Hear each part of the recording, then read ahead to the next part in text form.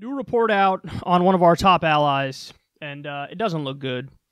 Saudi Arabia uh, Arabia gave military weapons shipped from U.S. to Al Qaeda.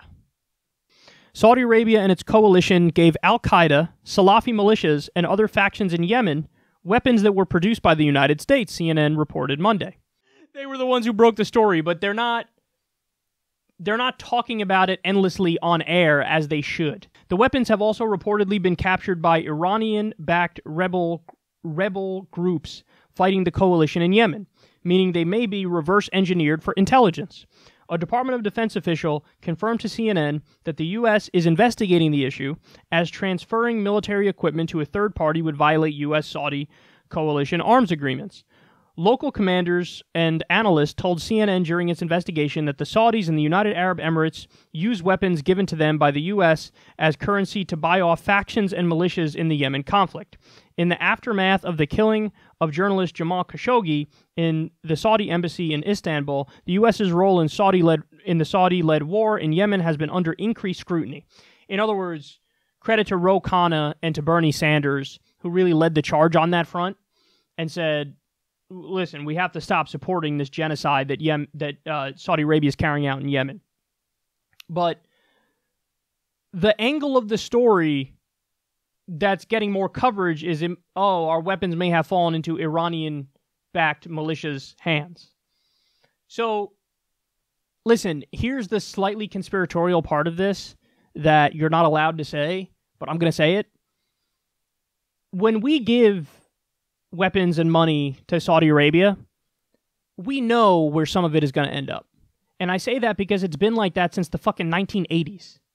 So when Ronald Reagan armed and funded the Mujahideen in Afghanistan to fight the Soviet Union, he knew who they were. He knew that these are fundamentalist Muslims. And later on, they broke up and became Al Qaeda and the Taliban. So we armed our worst enemies. In fact, we armed Osama bin Laden. There were articles in The Independent, a British paper, describing him as a freedom fighter. The Taliban literally, uh, representatives of the Taliban from the Mujahideen went to the White House and met with Reagan.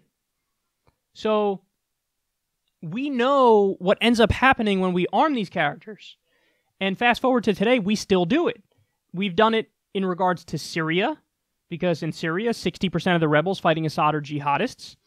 Um, and we've also done it in Yemen. We when we arm and fund Saudi Arabia, we know that they're going to utilize um, Sunni militias on the ground, and the Sunni militias on the ground overwhelmingly are jihadists. And you know they're fighting the Houthi militias, which are the allegedly Iranian-backed militias because they're Shia militias. And now our weapons got into their hands as well. So in other words, we appear to be arming both sides of multiple conflicts. And this is the military industrial complex loves this because they make a lot of money when they keep selling these weapons, and everybody else hates it. So honestly, this all goes back to the way to fix this. This all goes back to a Jill Stein policy, which everybody laughed her out of the room when she said it, but she was totally right. We have to stop arming human rights violators if we immediately cut off all arms deals with human rights violators, that includes Saudi Arabia, that includes uh, various rebel groups, that includes Egypt, that includes Israel, if we cut off arms going to human rights violators, you would immediately see, a, immediately see a drastic decrease in um, the amount of terrorism happening around the world because they no longer have the arms to do it.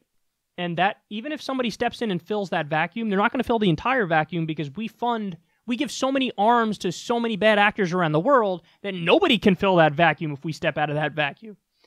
So you're just going to have a decrease in terrorism if we stop arming human rights violators. Now, that's such a simple approach to fixing this. And again, Jill Stein was laughed out of the room for saying it, but it's totally true. If we just didn't arm Saudi Arabia, how many more people would be alive today? Even if, again, even if they go to other powers and you know make up the difference and get some weapons from other powers, there's no way they'd give they'd get as big of a weapons deal from other powers as they've gotten from us. So this is a devastating story, and it's already out of the news. and it ain't going to get back in the news.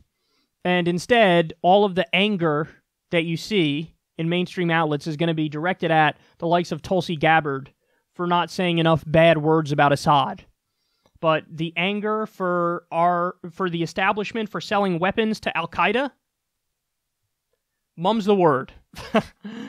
there won't be international pressure to stop the U.S. from selling weapons to Saudi Arabia anymore, even though we see the results of this and it's going to come back to bite us in the ass like it does every single time. Um, it turns out human rights are not the concern. The military industrial complex churns on.